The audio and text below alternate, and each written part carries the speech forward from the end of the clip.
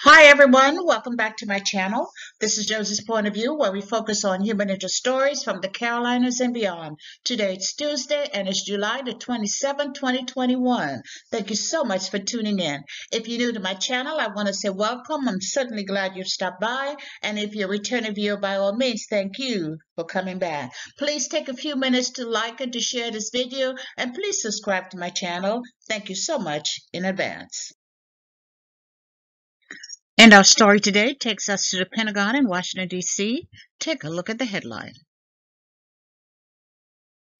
And it reads, two-star general demoted to lieutenant for sexually abusing his daughter. I'll provide you with a summary here, and as always, I'll place links to a few of the full articles in the description box.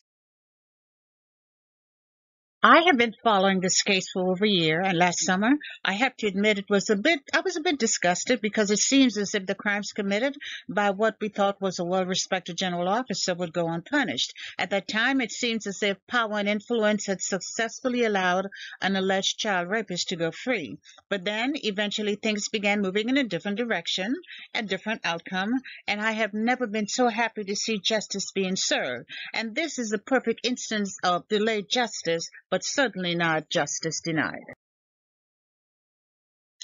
And today we're talking about former two-star General James Grazioplene, a West Point graduate with ties to Fort Bragg as well as the Pentagon. He was commissioned in 1972, progressed through the ranks, and eventually retired as a two-star general in January of 2005. So he was a uniform for almost 33 years. And by all accounts, he was someone who was a very high-profile status, a well-respected military officer. And as I already mentioned, he retired as a two-star general. Well, in May of this year, the Secretary of the Army saw it fit to demote him from a two-star general to the rank of second lieutenant, and that reduction is permanent. It can never be appealed. Now, this story has a lot to do with family secrets, denial, as well as parental sexual abuse. Now, Grazioplene, he has an adult daughter. Her name is Jennifer, and she's now in her 40s. And it's okay for the world to see her face because she did that several years ago. Well, back in 2015, Jennifer contacted military officials at Fort Bragg and made them aware that she had been keeping a secret for a very long time.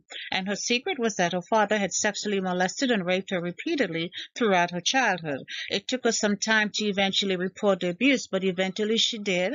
And they asked her to come in, fill out a written statement. And during that encounter, that face to face encounter, she began to pour her heart out, describing in detail about the sexual abuse she stated she suffered at the hands of her father, the general officer, for as long as she could remember.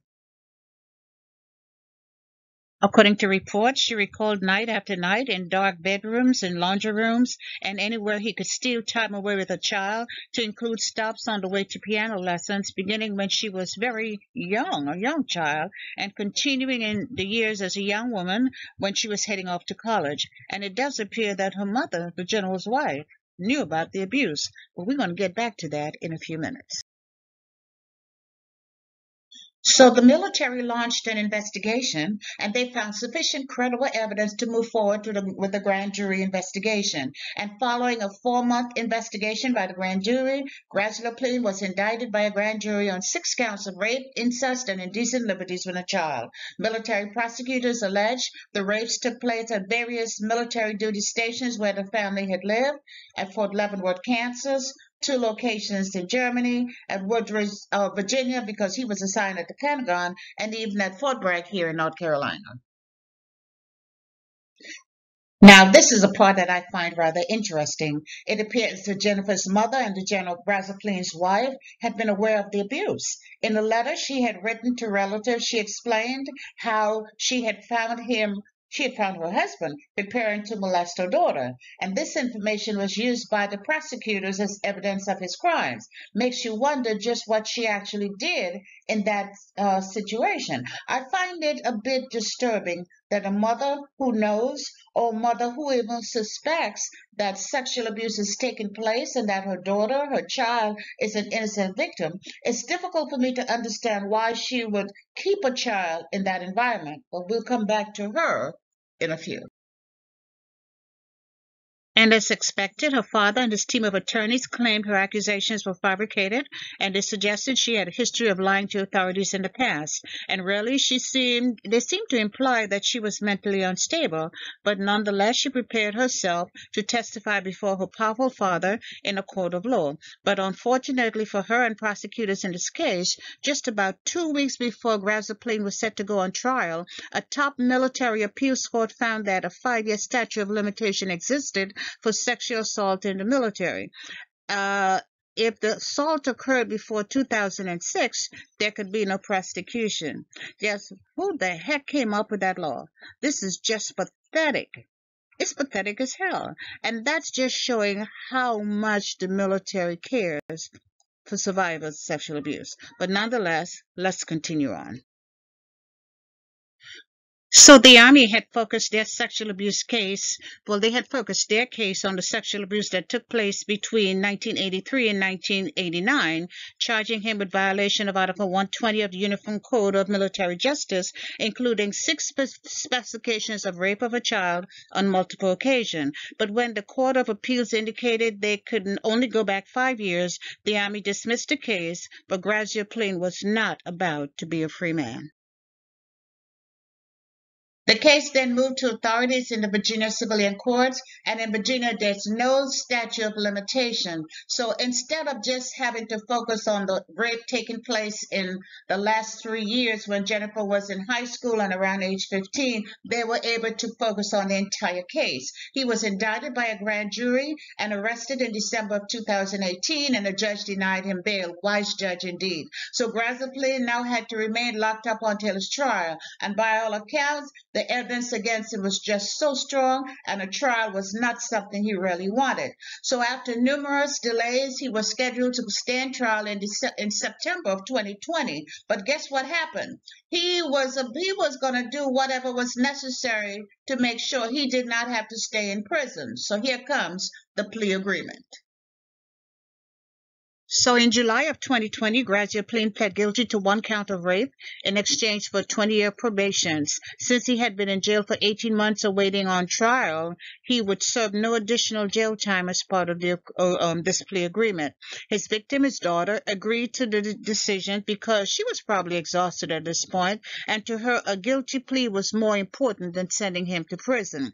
At least she could now prove to the world that she was telling the truth all along because everybody had been calling her a liar so now she can prove he actually had been raping her. What she had been saying was true. So in essence, it appeared as if he had gotten away with repeatedly raping his daughter for over a decade while he pretended to stand firm on military discipline and imposing sentences on others for similar acts. Many of us were outraged. We were disgusted with the sentence because it seems as if he was just given a slap on the wrist and sent off on his merry way to enjoy the remainder of his retirement. It just did not seem right. How could a general officer commit a, a heinous crime against his own child and get away free? It was not making any sense. But someone in authority was paying attention. And just as the general thought he had gotten away and he was going to be going on and enjoying his retirement years, we found out in May of this year that the Secretary of the Army took action in this case. Uh, the Secretary of the Army demoted Grazioplene from the rank of two-star general to second lieutenant. In making this decision, General Austin stated that the evidence shows the rank of second lieutenant was the last rank in which he served on active duty satisfactorily. He also stated that when you retire, you are still subject to UCMJ action, and this reduction from two-star general to second lieutenant means his pay will be cut by at least two-thirds, and as I previously mentioned, this decision cannot be appealed.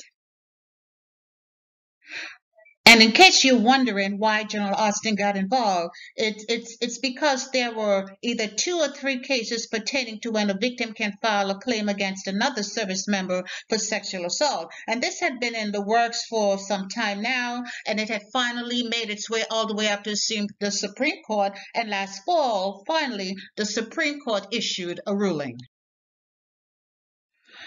And in an 8 to 0 ruling, the Supreme Court ruled there are no statute of limitation for rape and sexual assault in the armed forces. That means that five year rule or that five year statute of limitation is null and void. It no longer exists. If you are a victim, you can file charges against another service member at any time, and he or she will still be held accountable. And this is the only way Plain was able to be held accountable within the military system.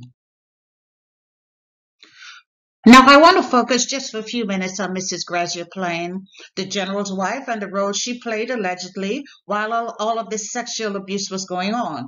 First, it was clearly stated that Jennifer's sexual abuse was an open secret. Everybody knew about it, they just didn't talk about it. As previously mentioned, Mrs. Grazioplene once detailed in a written letter to a family member that she had walked in on her husband as he was about to abuse her daughter. In a letter, she stated that while she was playing housewife, he was taking perverted liberties with her child. Huh. See, that means she knew what the heck was going on. In one of the interviews, Jennifer said, as a teenager, her mother would share how she needed to dress around her father, how what type of attire she should be wearing when she was around her father. In a phone call in 2015, Jennifer said she confronted both of her parents about the sexual abuse that she had encountered. Her mother told her God had forgiven her father and she needed to do the same as well. So essentially, they kind of brushed it off. Huh. One of his sisters said she had confronted him after Jennifer shared what had been happening to her, and he admitted it, telling her it was the worst thing he had ever done. The family knew, the mother knew, but she kept her child in that environment. No Mother of the Year award is waiting for you, my friend. And today, despite his final admission of guilt, despite his plea deal in which he admitted he had raped and sexually violated his child, Mrs. Plain and the second lieutenant are still married. They're still together. According to reports, she has re refused requests from the media for comment. I'm sure they have a lot of questions for her. I know the media have a lot of questions for her. And I guess they continue to live happy ever after. But I wonder if all of the people who have been defending him for years I wonder if they still look at him the same way. Hope the open shame he now has to face will provide some measure of comfort to all those who may have been impacted by his actions. And to all of the others out there, they're coming from you too. It's just a matter of time and you should be very concerned. And that's all I have for you right now. Feel free to leave me a comment below and let me know what you think about this video. And by all means, feel free to like and to share it. And if you haven't done so already, I want to invite you to subscribe to my channel by clicking on that red subscribe button on the bottom right hand corner of your screen. And if you click on this notification bell right here, you'll be the first to know whenever a new video is uploaded. I thank you for watching and I'll talk to you soon. Bye.